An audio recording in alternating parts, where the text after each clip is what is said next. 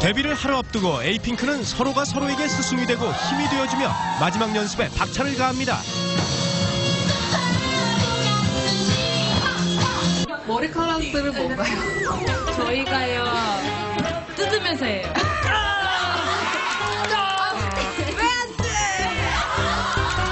이제 한 명씩 나와야 그다음 연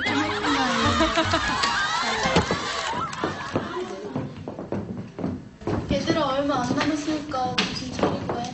네. 노래 부르면서 하고 동작 맞춘 거 까먹지 말고 하영아. 네. 중하지 마. 그 정도.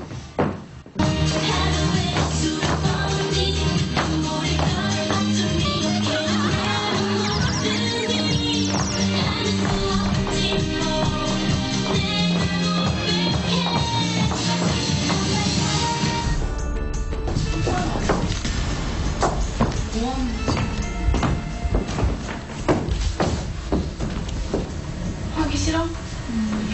그러면 똑바로 해 듣는 거 알려줘. 안경을 벗으면 보이려고 이렇게 인상을 찡그리게 돼요. 그래서 인상 쓰는 것처럼 보이나 봐요.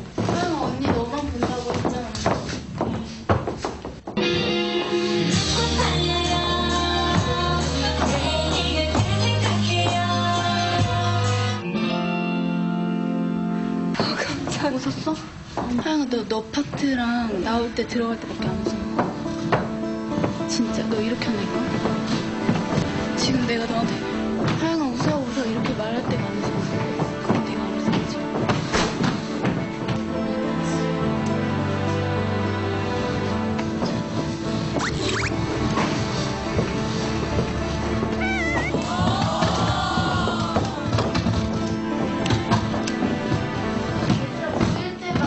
마이크 조심